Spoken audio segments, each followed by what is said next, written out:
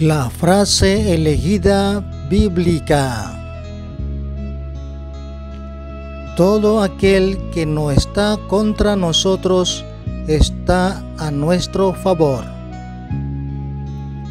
La rivalidad en la fe es una enfermedad. Si Dios dice amén a tus enemigos, pues los que hacen las cosas de Dios son amigos. La pregunta para meditar. ¿Qué opinas de la frase? ¿Te sientes como amigo con los que también hacen las cosas de Dios? Un momento de meditar.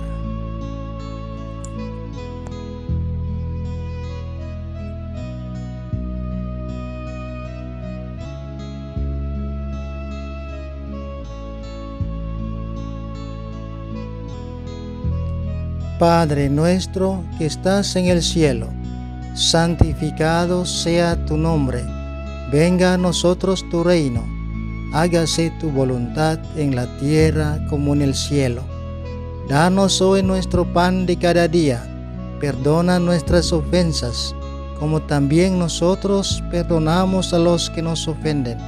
No nos dejes caer en la tentación y líbranos del mal. Amén.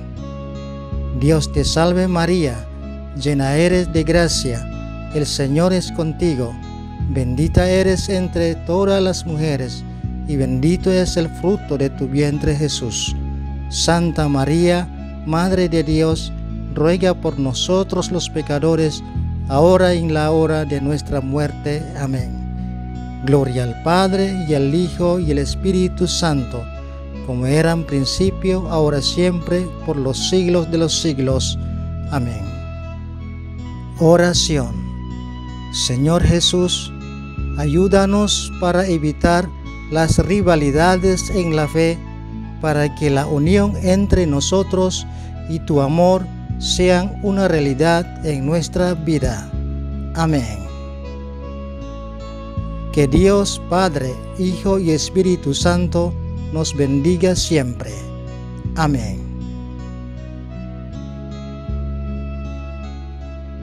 Qué lindo es cuando todos los hijos de Dios viven en la armonía de la fe sin rivalidades. Todo eso podemos hacer desde nosotros mismos.